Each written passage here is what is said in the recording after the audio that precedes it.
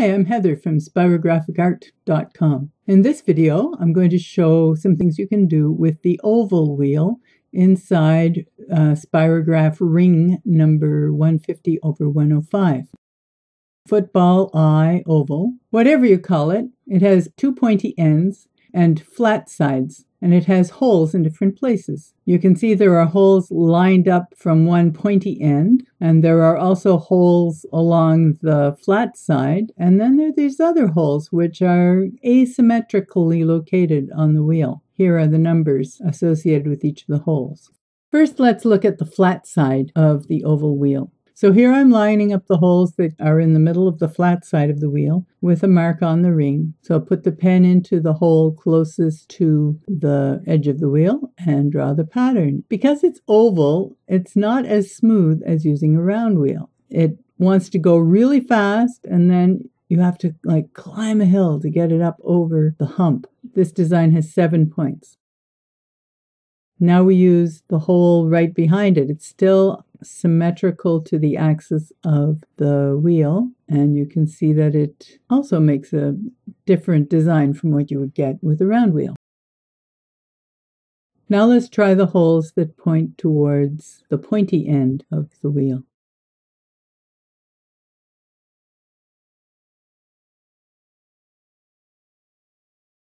And you can see it's a very different design. It makes a kind of heart-shaped design, and we'll speed this up just to make the video shorter and so you can get out there and try it yourself. So you see those heart shapes that it's making, seven heart shapes in a circle. That can make nice Valentine's designs. Let's try the second hole. So it's also making heart-shaped designs, but they're fatter and they make an interesting combination with the pattern from the first hole.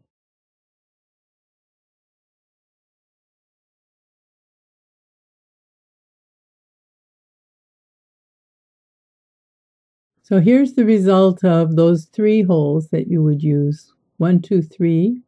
Or if you use five holes, you get a pattern like this. Here's a variation with different colors of blue.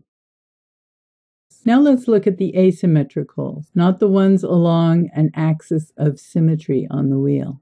Now we'll try this hole. And you'll see it makes an asymmetric design and it looks like it has a little foot. Each point looks like a foot with a toe and a heel. With this particular hole, the design crosses itself right in the middle, making a very pleasing pinwheel design.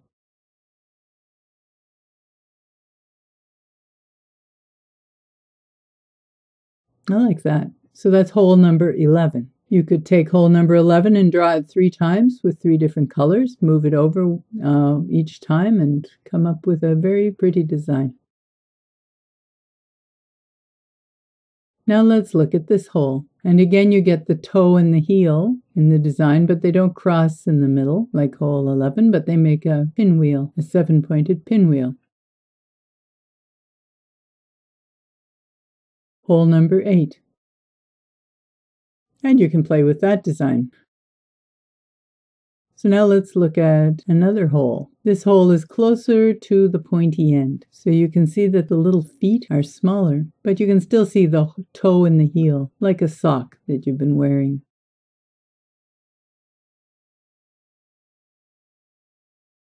So hole number 13. Here's a design I made with four different colors and hole number 13 and shifting over two teeth each time. Now some interesting things can happen if you flip the wheel over. You notice what we have here is an asymmetrical design, but if we flip the wheel over, we'll get sort of the mirror image of this design. So let's see how that works together flip it over and then draw the design with the same hole as you did last time and see what happens. Can you see the symmetry forming here now? This is not a design you could get with the round wheels. It looks a lot like a, it's a nice flower design. So there, hole 13, draw it once, flip the wheel over, and how you align the toe will influence what kind of effect you get. So remember which hole you were using, and then you choose where to line it up, and you can get different effects depending on how you line up the toes.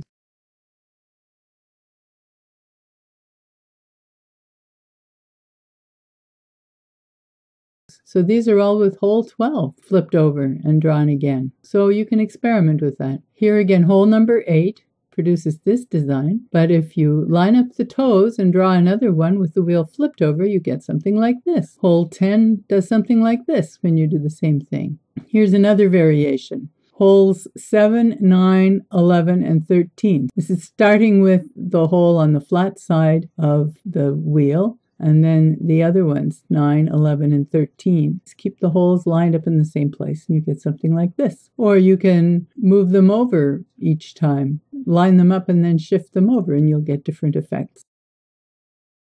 So there's some things you can do with the oval wheel in the Spirograph set. Hope you try this and have some fun and make your own designs. Experiment with colors and flipping the wheel over and using different holes and lining them up differently. If you haven't already subscribed, do so and you'll get notifications from YouTube about other videos I make. And visit the website at spirographicart.com.